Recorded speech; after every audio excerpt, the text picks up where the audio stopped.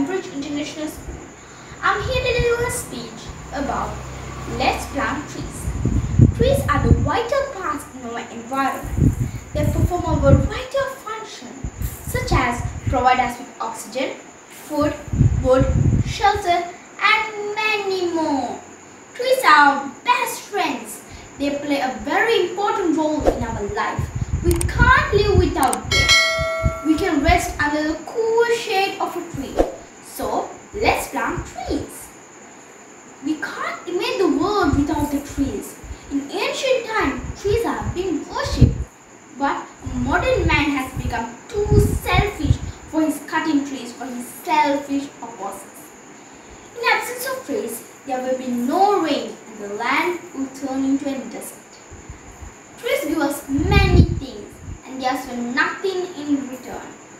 Let's plant a tree and a new friend in our life. Humans are the only creature in this world who cut trees, made paper from it and they wrote save trees on it. Don't cut the trees, love the trees, plant them. It's very important for our life. Let's make our planet a green planet. Singapore has realized the importance of the trees and they have started to make to grow a tree for every single second. Singapore is a developed city and the new development includes plants life in the form of green roofs, cascading, vertical gardens and wooden walls. Singapore, though a very small city, is known as the greenest city in the planet. As a human, we should plant a tree and that's our duty. The time has come to realize the importance of the trees.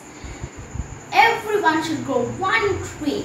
It must be followed by a birth of a child. Let's plant a tree and make our mother earth stronger.